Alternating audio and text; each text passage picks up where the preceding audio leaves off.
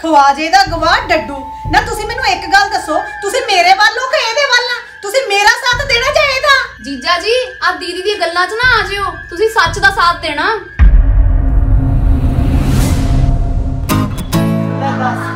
ਹੈ ਕਿਸੇ ਨੂੰ ਚਿੰਤਾ? ਵੀ ਆਹ ਸਮਾਨ ਵੀ ਬਾਹਰ ਚੱਕਣਾ ਆ। ਸਾਰੇ ਘਰ ਦੀ ਜ਼ਿੰਮੇਵਾਰੀ ਨਾ ਜਿਵੇਂ ਮੈਨੂੰ ਹੀ ਦਿੱਤੀ ਹੁੰਦੀ ਆ। ਆ ਕੱਪੜੇ ਵੀ ਨਹੀਂ ਲਾਏ ਹੈਗੇ। ਲਾਉ ਇਹ ਰੰਗ ਇਹ। ਆ ਲੈ ਦੱਸ ਆ ਪਹੁੰਚੇ ਗੰਦੇ ਆ। ਪਤਾ ਨਹੀਂ ਕਿੱਦਾਂ ਕੱਪੜੇ ਧੋਂਦੀ ਆ। ਆ ਕਲਰ ਵੀ ਚੈੱਕ ਕਰ ਲਵਾਂ ਕਲਰਾਂ ਤਾਂ ਵੀ ਪਾਜ ਵੱਡਿਆ ਹੋਣਾ। ਲੈ ਦੱਸ ਆ ਕਲਰਾਂ ਦਾ ਵੀ ਉਹੀ ਹਾਲ ਆ। ਇਹਨੇ ਨਹੀਂ ਸੁਧਰਨਾ। ਰਿੰਕੀ ਰਿੰਕੀ ਸੁਣਦੀ ਆ ਕਬੋਲੀ ਹੋ ਗਈ। ਹਾਂ ਦੀਦੀ ਕੀ ਹੋ ਗਿਆ? ਕਿਉਂ ਇੰਨਾ ਰੋਲਾ ਪਾਇਆ ਤੁਸੀਂ? ਤੇ ਰੋਲਾ ਪਾਉਣਾ ਨਹੀਂ ਆ। ਆ ਤੈਨੂੰ ਕੱਪੜੇ ਧੋਣ ਦਾ ਕੋਈ ਚੱਜ ਨਹੀਂ ਹੈਗਾ। ਆ ਦੇਖ ਆ ਕਾਲਰ ਗੰਦੇ ਪਏ ਨੇ। ਆ ਸਲਵਾਰ ਤੇ ਪਹੁੰਚੇ ਦੇਖ। ਆ ਕੀ ਹਾਲ ਕੀਤਾ ਪਿਆ ਤੂੰ ਇਹਨਾਂ ਦਾ ਆ ਲੈ ਆ ਦੇਖ ਜਰਾ ਆ ਦੇ ਬ੍ਰਸ਼ ਮਾਰਦੀ ਹੈ ਨਹੀਂ ਜਮਾ ਹੀ ਬਿਲਕੁਲ ਵੀ। ਬਸ ਸੌਖਾ ਕੰਮ ਭਾਲਿਆ ਹੋਇਆ ਵੀ ਚੱਕ ਕੇ ਨਾ ਸਾਰਾ ਕੁਝ ਮਸ਼ੀਨ 'ਚ ਸੁੱਟ ਦੋ। ਆ ਸਾਰੀ ਦੁਨੀਆ ਏਦਾਂ ਹੀ ਕੱਪੜੇ ਧੋਂਦੀ ਆ? ਵਾਸ਼ਿੰਗ ਮਸ਼ੀਨ ਕਾਦੇ ਵਾਸਤੇ ਹੁੰਦੀ ਆ ਹੋਰ? ਵਾਸ਼ਿੰਗ ਮਸ਼ੀਨ ਹੁੰਦੀ ਆ ਵੀ ਕੱਪੜੇ ਨਾ ਵਾਸ਼ਿੰਗ ਮਸ਼ੀਨ 'ਚ ਪਾ ਕੇ ਉਹਨੂੰ ਥੋੜੀ ਦੇਰ ਘੁਮਾ ਲਓ। ਬਾਅਦ 'ਚ ਉਹਦੇ 'ਚੋਂ ਕੱਢ ਕੇ ਥੋੜੇ ਜਿਹੇ ਬ੍ਰਸ਼ ਜਿਹਾ ਮਾਰ ਲਓ। ਆ ਹੱਥ ਕਾਦੇ ਵਾਸਤੇ ਹੁੰਦੇ ਨੇ? ਦੀਦੀ ਤੁਹਾਡੇ ਨਾਲ ਤਾਂ ਹੱਦ ਹੀ ਹੋਈ ਹੋਈ ਆ। ਤੁਹਾਨੂੰ ਤਾਂ ਮੇਰੇ ਸਾਰੇ ਕੰਮ ਹੀ ਨਿਕੰਮੇ ਲੱਗਦੇ ਆ। ਆ ਤੇਰੀ ਨਾ ਜਵਾਨ ਜ਼ਿਆਦਾ ਚੱਲਣ ਲੱਗੀ ਥੋੜੀ ਕਾਬੂ ਕਰ ਲੈ ਇਹਨੂੰ। ਦੀਦੀ ਤੈਨੂੰ ਨਹੀਂ ਲੱਗਦਾ ਤੂੰ ਲੋੜ ਤੋਂ ਵੱਧ ਟੋਕਾ ਟਾਕੀ ਕਰਨ ਲੱਗ ਗਈ ਆ ਹੁਣ? ਕਰਦੀ ਆ ਟੋਕਾ ਟਾਕੀ ਆ ਤੂੰ ਲੋੜ ਤੋਂ ਵੱਧ ਲਾਪਰਵਾਹ ਹੁੰਦੀ ਜਾ ਰਹੀ ਆ। ਆ ਸਹੁਰੇ ਘਰ ਜਾ ਕੇ ਨਾ ਨੱਕ ਵਢਾਏਂਗੀ ਪੂਰੀ ਮੇਰੀ। ਚੱਲ ਜਾ ਤੂੰ ਜਾ ਕੇ ਅੰਦਰ ਰੋਟੀ ਦੀ ਤਿਆਰੀ ਕਰ। ਮੈਂ ਦੇਖਦੀ ਆ ਬਾਕੀ ਕੱਪੜਿਆਂ ਤੇ ਕੀ ਰੰਗ ਲਾਇਆ ਹੋਇਆ ਤੂੰ। ਚੱਲ ਫੜ ਆ ਲੈ ਜਾ ਅੰਦਰ। ਲੈ ਜਾ ਹੁਣ।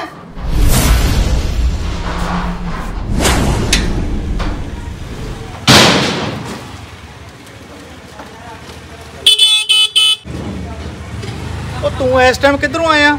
ਉਹ ਮਾਸੀ ਨੇ ਨਾ ਟੋਸਟ ਤੇ ਪਨੀਰ ਦੇ ਪਕੌੜੇ ਮੰਗਾਏ ਸੀ। ਆ ਤਾਂ ਚੱਲ ਬਹੁਤ ਉਹਨੇ ਪੁੰਨ ਖੱਟ ਲਿਆ। ਕਈ ਦਿਨਾਂ ਦਾ ਮੂੰਹ ਪਕਵਕਾ ਜਿਹਾ ਹੋਇਆ ਪਿਆ ਸੀਗਾ। ਮੈਨੂੰ ਭੁੱਖ ਲੱਗੀ ਆ ਰੋਟੀ ਦਾ ਵੀ ਸੇਵਾ ਕਰ ਦੋ। ਲਿਆਉਣੀ ਆ ਵੱਡੀ ਬੇਬੇ ਤੇਰਾ ਹੀ ਹੱਲ ਕੀਤਾ। ਹਾਂ ਤਾਂ ਵਧੀਆ। ਬੇਬੇ ਨੇ ਚਿਪਸ ਖਾਣੇ ਹੁੰਦੇ ਆ। ਸਾਨੂੰ ਨਾਲ ਪਕੌੜੇ ਮਿਲ ਜਾਂਦੇ ਆ ਟੋਸਟ ਵੀ ਮਿਲ ਜਾਂਦੇ ਆ। ਆ ਲਓ ਵੱਡੀ ਬੇਬੇ। ਆਟਾ ਕੁੜੀਏ ਤਾਂ ਪੁੰਨ ਕੱਟ ਲਿਆ। ਮੇਰਾ ਜੀ ਕਰਦਾ ਸੀ ਆਲੂ ਵਾਲੇ ਪਕੌੜੇ ਖਾਣ ਨੂੰ। ਜੀ ਤਾਂ ਬੇਬੇ ਤੇਰਾ ਤੀਜੇ ਦਿਨ ਹੀ ਕਰਿਆ ਰਹਿੰਦਾ। ਐਡੀ ਵੱਡੀ ਪਲੇਟ 'ਚ ਪਕੌੜੇ ਲੈ ਕੇ ਆਇਆ ਐਡੋ ਤਾਂ ਬਰਾਤ ਚ ਲਾਇਆ ਹੁੰਦੀ ਬੇਬੇ ਤੇਰੇ ਨਾਲ ਕੋੜ ਮੱਥਾ ਮਾਰੇ? ਧੰਨ ਨਾ ਮੇਰੀ ਭੈਣ ਜਿਹੜੀ ਤੈਨੂੰ ਚੱਲੀ ਜਾਂਦੀ ਆ ਦੇਖ ਕਿੱਦਾਂ ਬੇਬੇ ਨਾਲ ਲੇਲੇ ਪੇਪੇ ਜੇ ਕਰਨ ਲੱਗੀ ਹੋਈ ਹੁੰਦੀ ਆ। ਜਿਵੇਂ ਇਹਨੇ ਬੇਬੇ ਨੂੰ ਬੱਸ 'ਚ ਕਰ ਲੈਣਾ ਹੁੰਦਾ। ਇਹ ਨਹੀਂ ਸੱਤ ਜਨਮ ਤੇਰੇ ਬੱਸ 'ਚ ਆਉਣੀ। ਲੈ ਮੇਰੇ ਲਈ ਵੀ ਕੁਛ। ਆਲੂ 30 ਰੁਪਏ ਕਿਲੋ। ਮਟਰ ਨੇ ਫਿਰ ਭਾਅ ਚੱਕ ਲਿਆ। 60 ਰੁਪਏ ਕਿਲੋ। ਰਿੰਕੀ! ਲੱਗਦਾ ਇਹ ਸੱਚੀ ਬੋਲੀ ਹੋ ਗਈ। ਸਰੋਂ ਦੇ ਤੇਲ 'ਚ ਲਸਣ ਭੁੰਨ ਕੇ ਇਹਦੇ ਕੰਨਾਂ 'ਚ ਪਾਉਣਾ ਪਊਗਾ। ਲਿਆਉਣੀ ਆ ਦੀਦੀ। ਮੇਰੇ ਵੀ ਰੱਬ ਨੇ ਦੋ ਹੀ ਹੱਥ ਲਾਏ ਆ 20 ਨਹੀਂ ਹੱਥ ਲਾਏ ਹੈ ਦੀ ਤੁਸੀਂ ਤਾਂ ਨੇਰੀ ਲਿਆ ਦਿੰਦੇ ਹੋ ਟਾਈਮ ਤਾਂ ਲੱਗਦਾ ਹੀ ਆ ਹੁਣ। ਉਹ ਸ਼ਾਬਾਸ਼ ਏ ਤੇਰੇ। ਆ ਤੇਲ ਵਾਲੀਆਂ ਚੀਜ਼ਾਂ ਖਵਾ ਕੇ ਨਾ ਆ ਐਸੇ ਉਮਰ 'ਚ ਮੇਰਾ ਬੀਪੀ ਵਧਣ ਲਾ ਦੇ ਤੂੰ। ਨਾ ਆਹ ਸੁੱਕਾ ਜਿਹਾ ਲਿਆ ਕੇ ਮੇਰੇ ਮੱਥੇ ਮਾਰਿਆ ਸੌਸ ਸੂਸ ਕੁਛ ਨਾਲ ਲੈ ਕੇ ਨਹੀਂ ਆਉਣੀ ਸੀ? ਓਹੋ, ਦੀਦੀ ਕਾਲੀ ਕਾਲੀ ਚ ਤਾਂ ਮੈਂ ਭੁੱਲ ਹੀ ਗਈ। ਲੱਗਦਾ ਮੈਨੂੰ ਨਾ ਤੇਰੀਆਂ ਆ ਯਾਦਾਸ਼ਤ ਵਧਾਉਣ ਵਾਸਤੇ ਆ ਵੱਡੀ ਬੇਬੇ ਕੋਲ ਤੇਰੀਆਂ ਪੁੜਪੜੀਆਂ ਚਸਾਉਣੀਆਂ ਪੈਣਗੀਆਂ। ਆ ਰੋਟੀ ਦੀ ਜਗ੍ਹਾ ਤੇ ਟੋਸਟ ਇਹਦੇ ਨਾਲ ਤਾਂ ਰੋਟੀ ਦੀ ਭੁੱਖ ਹੀ ਮਰ ਜਾਣੀ ਆ। ਮੇਰੀ ਇੱਕ ਗੱਲ ਸੁਣ ਲੈ ਕੁੜੀਆਂ ਜਿੰਨੀਆਂ ਮਰਜ਼ੀ ਪੜ੍ਹ ਲਿਖ ਜਾਣ ਆ ਰੋਟੀ ਟੁੱਕ ਦਾ ਕੰਮ ਤਾਂ ਉਹਨਾਂ ਨੂੰ ਕਰਨਾ ਹੀ ਪੈਂਦਾ ਤੇ ਤੂੰ ਕਿੱਦਾਂ ਟਲਦੀ ਆ? ਮੈਂ ਕੋਈ ਨਹੀਂ ਟਲਦੀ ਟੁਲਦੀ ਆ ਤਾਂ ਮੈਂ ਕੱਪੜੇ ਧੋ ਕੇ ਥੱਕ ਗਈ ਸੀ ਤਾਂ ਮੰਗਾਏ ਸੀ। ਆ ਅੱਧੀ ਰਾਤ ਨੂੰ ਤਾਂ ਤੂੰ ਕੱਪੜੇ ਧੋਣ ਲੱਗੀ ਟਾਈਮ ਤਾਂ ਤੇਰਾ ਨਿਕਲਣਾ ਹੀ ਸੀਗਾ ਰੋਟੀ ਦਾ। ਜੇ ਟਾਈਮ ਸਿਰ ਕੱਪੜੇ ਧੋ ਲੈਂਦੀ ਨਾ ਤਾਂ ਰੋਟੀ ਵੀ ਬਣ ਜਾਣੀ ਸੀ। ਆ ਸਾਰਾ ਦਿਨ ਮੈਂ ਕੰਮ ਟੁੱਟ ਟੁੱਟ ਕੇ ਕਰਦੀ ਰਹਿੰਦੀ ਆ। ਤੂੰ ਤਾਂ ਆ ਪਰ ਤੂੰ ਨਹੀਂ ਖੁਸ਼ ਹੋਈ ਤੈਨੂੰ ਤਾਂ ਰੱਬ ਵੀ ਨਹੀਂ ਖੁਸ਼ ਕਰ ਸਕਦਾ ਹੈਗਾ। ਆ ਦੇਖ ਤਾਂ ਦੇਖ ਤਾਂ ਕਿੱਦਾਂ ਇਹਦੀ ਲੁਤਰੋ ਜੀ ਚੱਲਦੀ ਆ? ਇਹਨੂੰ ਨਾ ਕੰਟਰੋਲ 'ਚ ਕਰ ਲਾ ਕਿਤੇ ਆਪਦੀਆਂ ਗੁੱਤਨੀ ਜੀ ਨਾ ਮੇਰੇ ਤੋਂ ਪਟਾ ਲਈ। ਜੇ ਇੰਨਾ ਕਰਦੀ ਕਰਦੀ ਤੂੰ ਮੈਨੂੰ ਸੁਣਾਣਾ ਨਾ ਤੂੰ ਮੈਨੂੰ ਹੱਥ ਲਾ ਕੇ ਦਿਖਾ। ਹੱਥ ਲਾ ਕੇ ਨਹੀਂ ਹੱਥ ਚਲਾ ਕੇ ਦਿਖਾਉਂ ਤੈਨੂੰ ਮੈਂ। ਨਾਲੇ ਤੂੰ ਮੈਨੂੰ ਆਹ ਦੱਸ ਵੀ ਇਹ ਕੱਪੜੇ ਕਿੱਦਾਂ ਦੇ ਪਾਏ ਹੋਏ ਨੇ? ਇਹ ਕੋਈ ਘਰ ਪਾਉਣ ਵਾਲੇ ਕੱਪੜੇ ਨੇ? ਸੂਟ ਸਲਵਾਰ ਹੈ ਨਹੀਂ ਤੇਰੇ ਕੋਲ? ਕਰ ਲੋ ਜੋ ਮਰਜ਼ੀ ਸੂਟ ਵੀ ਆ ਸਲਵਾਰ ਵੀ ਆ ਮੇਰੇ ਤਾਂ ਆਹੀ ਫੇਵਰੇਟ ਨੇ ਮੈਂ ਇਹੀ ਪਾਣੇ ਆ। ਪਾਉਣੇ ਐ ਵੱਡੀ ਰਕਾਨ ਨੇ ਇਦਾਂ ਦੇ। ਪਹਿਲਾਂ ਤਾਂ ਨਾ ਮੈਂ ਤੇਰੇ ਇਦਾਂ ਦੇ ਕੱਪੜਿਆਂ ਨੂੰ ਅੱਗ ਲਾਉਣੀ ਆ। ਮੰਮਾ ਕਾਹਦਾ ਰੋਲਾ ਪਾਇਆ? ਹੁਣ ਬਸ ਕਰੋ। ਤੂੰ ਚੁੱਪ ਕਰਕੇ ਬਹਿ ਜਾ ਉੱਥੇ। ਕਿਤੇ ਆਪਦੀਆਂ ਜਾਬਾਂ ਜੀਆਂ ਨਾ ਬਣਾ ਲਈ ਮੇਰੇ ਤੋਂ। ਮਾਸੀ ਜੀ ਮਾੜਾ ਜਿਹਾ ਮੰਮਾ ਨੂੰ ਸਮਝਾਓ ਕਿੱਦਾਂ ਬੋਲਦੇ ਨੇ।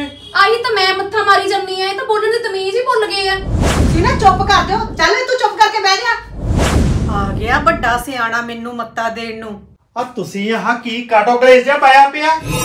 ਆ ਕਿਵੇਂ ਦੇ ਮਗਰ ਪਈ ਪਈ ਆ ਤੂੰ? ਗੱਲ ਕੀ ਹੋ ਗਈ ਤੁਹਾਡੀ?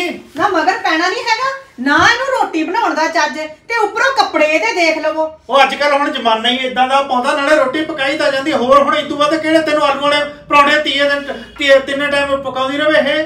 ਨਾ ਆਲੂ ਵਾਲੇ ਪਰੌਂਠੇ ਨਾ ਦੇਵੇ ਘੱਟੋ ਘੱਟ ਚੱਜ ਦੀ ਸਬਜ਼ੀ ਤਾਂ ਬਣਾਵੇ। ਸਿਖਾ ਦੇ ਇਹਨੂੰ ਫਿਰ ਤੂੰ ਹੀ ਸਿਖਾਉਣੀ ਔਰ ਮੈਂ ਤਾਂ ਮੱਥਾ ਮਾਰ ਮਾਰ ਹੰਬ ਗਈ ਇਹਦੇ ਨਾਲ ਪਰ ਕਿੱਥੋਂ ਆ ਰੋਟੀ ਦੇ ਟਾਈਮ ਚੱਕ ਕੇ ਟੋਸਟ ਲੈ ਆਈ ਦੱਸੋ ਮੈਂ ਕੀ ਕਰਾਂ ਉਹ ਤਾਂ ਇਹਦਾ ਮੈਂ ਆਪ ਸੁਣਿਆ ਬੇਬੇ ਮਗਰ ਪੈ ਗਈ ਸੀ ਕਹਿੰਦੀ ਮੈਂ ਆਲੂ ਵਾਲੀ ਚਿਪਸ ਖਾਣੀ ਆ ਉਹ ਤਾਂ ਮੰਗਾਈ ਆ ਇਹਨੇ। ਉਹ ਬੇਬੇ ਨੂੰ ਤਾਂ ਤੀਜੇ ਦਿਨ ਆਲੂ ਵਾਲੇ ਚਿਪਸ ਚਾਹੀਦੇ ਆ। ਉਹ ਕੱਲੀ ਬੇਬੇ ਨੂੰ ਮੰਗਾ ਦਿਓ ਆ ਰੋਜ਼ ਆਪਦੇ ਵਾਸਤੇ ਮੰਗਾਉਣ ਦੀ ਕੀ ਲੋੜ ਆ? ਠੀਕ ਹੈ ਬੇਬੇ ਨੂੰ ਖਵਾ ਦਾ ਉਹਦੇ ਮੂੰਹ ਨੂੰ ਸਲਾਈ ਨਾਲ ਨਾ ਇਹ ਸਿੱਲੋ ਇਹ ਖਾਣ ਨੂੰ ਜੀ ਨਹੀਂ ਕਰਦਾ ਹੈ ਕਿਸੇ ਦਾ। ਆਹੋ। ਮੇਰਾ ਵੀ ਜੀ ਕਰਦਾ ਸੀ ਦੱਸ ਮੰਗਾ ਲੈ ਕੀ ਆਫਤ ਆ ਗਈ? ਜੇ ਇੱਕ ਟਾਈਮ ਮੰਗਾ ਵੀ ਲਿਆ ਨੇ ਖਵਾਜੇ ਦਾ ਗਵਾਹ ਡੱਡੂ। ਨਾ ਤੁਸੀਂ ਮੈਨੂੰ ਇੱਕ ਗੱਲ ਦੱਸੋ ਤੁਸੀਂ ਮੇਰੇ ਵੱਲ ਹੋ ਕਿ ਇਹਦੇ ਵੱਲ ਆ? ਤੁਸੀਂ ਮੇਰਾ ਸਾਥ ਦੇਣਾ ਚਾਹੀਦਾ? ਜੀਜਾ ਜੀ ਆ ਦੀਦੀ ਦੀਆਂ ਗੱਲਾਂ 'ਚ ਨਾ ਆ ਜਿਓ। ਤੁਸੀਂ ਸੱਚ ਦਾ ਸਾਥ ਦੇਣਾ। ਉਹ ਤੁਸੀਂ ਉੱਧਰ ਕੀ ਦੇਖਦੇ ਆ? ਮੇਰੇ ਵੱਲ ਦੇਖੋ ਮੇਰੇ ਵੱਲ। ਉਹ ਤੇਰੇ ਵੱਲ ਕੀ ਦੇਖਾ? ਘਾਹ ਤੇਰੇ ਮੂੰਹ ਨੂੰ ਅਮਰੂਦ ਲੱਗੇ ਹੋਏ ਆ। ਅਮਰੂਦ ਲੱਗੇ ਆ ਚਾਹੇ ਅੰਬ ਲੱਗੇ ਆ ਪਰ ਤੁਹਾਨੂੰ ਮੇਰੇ ਵੱਲ ਹੀ ਦੇਖਣਾ ਪੈਣਾ। ਉਹ ਚੰਗੀ ਦੱਸ ਮੈਂ ਭਰਿੰਡਾ ਦੇ ਖੱਖਰ ਨੂੰ ਹੱਥ ਲਾ ਲਿਆ। ਆ ਤੁਹਾਨੂੰ ਲੜਦੀਆਂ ਨੂੰ ਮੈਂ ਐਵੇਂ ਖਾਮਖਾ ਵਿੱਚ ਪੰਗਾ ਲੈ ਲਿਆ।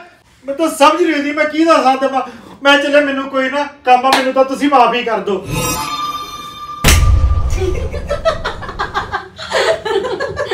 ਇਹ ਕੀ? ਆ ਹੁਣੇ ਤਾਂ ਇੱਕ ਦੂਜੇ ਤਾਂ ਤੁਸੀਂ ਬਾਲ ਪੱਟਣ ਤੱਕ ਜਾਂਦੀਆਂ ਸੀ। ਆ ਹੁਣ ਆ ਪਾਰੀਆਂ ਸ਼ਾਰੀਆਂ ਵੀ ਸ਼ੁਰੂ ਹੋ ਗਈਆਂ। ਉਹ ਅਸੀਂ ਕਿਹੜਾ ਲੜਨ ਲੱਗੀਆਂ ਹੋਈਆਂ ਸੀ? ਮੈਂ ਤਾਂ ਇਹਨੂੰ ਰਿਹਸਲ ਕਰਾ ਰਹੀ ਸੀਗੀ। ਰੈਸਲ ਹੋਰ ਕੀ?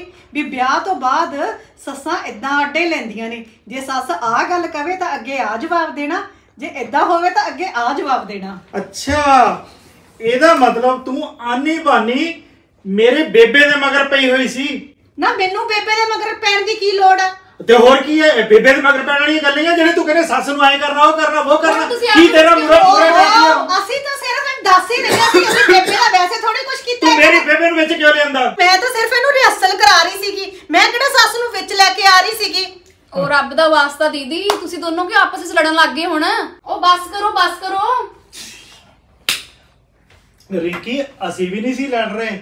ਕਈ ਵਾਰੀ ਇਦਾਂ ਦੇ ਹਾਲਾਤ ਵੀ ਆ ਜਾਂਦੇ ਆ ਮੀਆਂ ਬੀਬੀ ਆਪਸ ਦੇ ਵਿੱਚ ਝਪਟ ਪੈਂਦੇ ਆ ਲੜ ਪੈਂਦੇ ਨੇ ਤੇ ਉਹ ਵੀ ਮੌਕੇ ਨੂੰ ਸਮਝਣਾ ਨਜਾਕਤ ਹੁੰਦੀ ਆ। ਘਰਾਂ ਚ ਇਹ ਜਿਹੀਆਂ ਤਾਂ 100 ਗੱਲਾਂ ਚੱਲਦੀਆਂ ਨੇ। ਅੱਛਾ ਏਦਾਂ ਹੁੰਦਾ? ਹਾਂ ਇਦਾਂ ਹੀ ਹੁੰਦਾ। ਪਰ ਇੱਕ ਗੱਲ ਦੱਸ ਮੈਨੂੰ ਆ ਬਾਕੀ ਗੱਲਾਂ ਤਾਂ ਠੀਕ ਆ ਮੈਨੂੰ ਆ ਨਹੀਂ ਸਮਝ ਆਈ ਵੀ ਇਹ ਖੁਸ਼ੂ ਆ ਚੁੱਪ ਚਪੀਤਾ ਬੈਠਾ ਹੈ ਕੁਝ ਬੋਲਦਾ ਹੀ ਨਹੀਂ ਕਿ ਸਾਨੂੰ ਬੱਟਾ ਜਿਹਾ ਬਣਿਆ ਬੈਠਾ। ਪਾਪਾ ਜੀ ਮੈਂ ਤਾਂ ਤਾਂ ਚੁੱਪ ਬੈਠਾ ਕਿਉਂਕਿ ਇਹਨਾਂ ਨੇ ਮੈਨੂੰ ਨਨਾਣ ਦਾ ਰੋਲ ਦਿੱਤਾ। ਜਿਹਦਾ ਕੰਮ ਹੁੰਦਾ ਸਿਰਫ ਤੇ ਸਿਰਫ ਬਲ ਦੀ ਲੜਾਈ ਦੇ ਵਿੱਚ ਤੇਲ ਪਾਉਣਾ, ਪਰ ਬੋਲਣਾ ਕੁਝ ਨਹੀਂ। ਸਿਰਫ ਤਮਾਸ਼ਾ ਹੀ ਦੇਖਣਾ। ਫਿਰ ਤਾਂ ਵੀ ਤੂੰ ਆਪਦੀ ਜਗ੍ਹਾ ਬਿਲਕੁਲ ਠੀਕ ਹੈ ਕਿਉਂਕਿ ਕਈ ਨਣਦਾਂ ਹੁੰਦੀਆਂ ਹੀ ਇਦਾਂ ਦੀਆਂ, ਜਿਨ੍ਹਾਂ ਦਾ ਕੰਮ ਸਿਰਫ ਤਮਾਸ਼ਾ ਹੀ ਦੇਖਣਾ ਹੁੰਦਾ ਮੂੰਹੋਂ ਕੁਝ ਨਹੀਂ ਕਹਿਣਾ। ਅੱਛਾ, ਪਰ ਗੈਵੀ, ਮੈਨੂੰ ਇਹ ਦੱਸ ਵੀ ਆ ਰਿੰਕੀ ਦੀ ਜਿਹੜੀ ਟ੍ਰੇਨਿੰਗ ਹੈ ਕਿੱਥੇ ਤੱਕ ਪਹੁੰਚੀ? ਹਾਲੇ ਕੁਝ ਖਾਸ ਨਹੀਂ ਹੋਈ ਹੈਗੀ ਹਾਲੇ ਥੋੜੀ ਜਿਹੀ ਕੱਚੀ ਆ ਕਿਉਂਕਿ ਆ ਵੱਡੀ ਬੇਬੇ ਨਾਲ ਇਹਦਾ ਹਾਲੇ ਰਿਹਸਲ ਹੋਰ ਕਰਾਉਣੀ ਪੈਣੀ ਆ। ਆ ਬੁੜੀਆਂ ਦੇ ਨਾਲ ਆਡਾ ਲੈਣਾ ਬਾਹਲਾ ਹੀ ਔਖਾ ਹਾਲੇ ਤਾਂ। ਅੱਛਾ ਪਰ ਇਹਨੂੰ ਤਾਂ ਨਾਲੇ ਉੱਚਾ ਜਿਹਾ ਸੁਣਦਾ ਤੈਨੂੰ ਜੋ ਮਰਜ਼ੀ ਕਹੀ ਜਾਂਦੀ। ਇਹਦੀ ਪੜਾਸ ਜੀ ਤਾਂ ਨਿਕਲ ਜਾਂਦੀ। ਪਰ ਐ ਨਹੀਂ ਲੱਗਦਾ ਵੀ ਇਹਨੂੰ ਆਪਾਂ ਪੁੱਠੀ ਜੀ ਮੱਤ ਦੇਣ ਲੱਗੇ। ਏਦਾਂ ਤਾਂ ਇਹ ਤੀਜੇ ਦਿਨ ਕਿਤੇ ਘਰ ਪਟ ਕੇ ਆਪਣੀ ਨਾ ਸਰਾਣੇ ਬੈਠੀ ਹੋਵੇ। ਆਹੋ ਹਨਾ ਚੰਗੀ ਵੀ ਸੱਸ ਮਿਲ ਸਕਦੀ ਆ। ਹਾਂ ਆਪਾਂ ਜਿਹੜੀ ਸੋਚ ਆ ਨਾ ਉਹ ਵੀ ਪੋਜ਼ਿਟਿਵ ਕਰਦੀ ਹੈ ਜ਼ਰੂਰੀ ਨਹੀਂ ਵੀ ਸਾਰੇ ਜਿਹੜੇ ਸਹੁਰੇ ਮਾੜੇ ਹੀ ਹੁੰਦੇ ਆ, ਚੰਗੇ ਸਹੁਰੇ ਵੀ ਬਥੇਰੇ ਹੁੰਦੇ ਆ। ਕਈ ਵਾਰੀ ਬੰਦਾ ਵੱਧ ਘੱਟ ਜੇ ਕਹਿ ਵੀ ਦੇਵੇ ਨਾ, ਤਾਂ ਪਿਆਰ ਨਾਲ ਕਹਿੰਦਾ ਹੁੰਦਾ, ਉਹਨੂੰ ਦਿਲ ਤੇ ਨਹੀਂ ਲਾਈਦੇ। ਆ ਦੇ ਘਰਾਂ 'ਚ 100 ਗੱਲਾਂ ਹੋ ਜਾਂਦੀਆਂ ਨੇ। ਔਰਤ ਇੱਕ ਸਬਰ ਦੀ ਮੂਰਤ ਹੈ। ਤੂੰ ਸਬਰ ਦੀ ਮੂਰਤ ਬਣ ਕੇ ਆਉਣ ਵਾਲੀ ਜ਼ਿੰਦਗੀ ਕੱਟਣੀ ਆ, ਨਾ ਕਿ ਆ ਭਰਿੰਡਾਂਗੂ ਭੇੜ ਦੇ ਵਿੱਚ। ਜ਼ਿਆਦਾ ਨਹੀਂ ਸੁਣਨਾ। ਜੇ ਤਾਂ ਸੱਸ ਕਪੱਤੀ ਹੋਈ, ਤਾਂ ਪੂਰੇ ਆਡੇ ਲੈਣੇ ਆ। ਜੇ ਚੰਗੀ ਹੋਈ, ਤਾਂ ਜੀ ਜੀ ਕਰਨੀ ਆ। ਆਹ ਦੇਖ ਲਓ। ਆ ਵੱਡੀ ਮਾਸਟਰ ਨਹੀਂ ਆਦੀ ਭੈਣ ਨੂੰ ਕਿੱਦਾਂ ਦੀਆਂ ਮੱਤਾਂ ਦੇਣ ਲੱਗੀ ਆ ਇਹ। ਬਸ ਸਰ ਗਿਆ। ਬਈ ਦੋਸਤੋ ਤੁਸੀਂ ਇਹ ਫਿਲਮ ਨੂੰ ਸ਼ੇਅਰ ਜ਼ਰੂਰ ਕਰ ਦਿਓ ਕਿਉਂਕਿ ਘਰ ਘਰ ਦੀ ਕਹਾਣੀ ਹੈ। ਇਸ ਤਰ੍ਹਾਂ ਦੇ ਸੱਸ ਸਹੁਰਿਆਂ ਦੇ ਵਿੱਚ ਆਮ ਇਹ ਜਿਹੀਆਂ ਗੱਲਾਂ ਚੱਲਦੀਆਂ ਹੀ ਰਹਿੰਦੀਆਂ ਨੇ। ਨਾਲੇ ਭਾਂਡੇ ਖੜਕਦੇ ਹੀ ਚਾਹੀ- ਚਾਹੀਦੇ ਵੀ ਨੇ ਨਾ। ਉਹ ਚੇਬਨਾ ਪਾ ਦੇਵੇ। ਖੜਕਦੇ ਆ। ਖੜਕਦੇ ਚਾਹੀਦੇ ਆ ਖੜਕਣ ਨਾਲ ਪਿਆਰ ਵੀ ਵੱਧਦਾ ਆ। ਹਾਂ ਬਿਲਕੁਲ।